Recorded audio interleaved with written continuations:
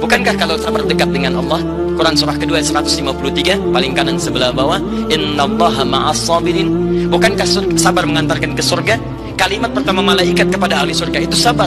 Malaikat masuk ke dalam setiap pintu surga mengucapkan selamat pada ahli surga. Apa ucapannya? Ayat 24 di Quran surah ke-13. Salamun alaikum bima sabartum. Selamat, kamu telah sabar menjalani kehidupan di muka bumi ini. Sabar tidak akan bersanding kecuali dengan musibah.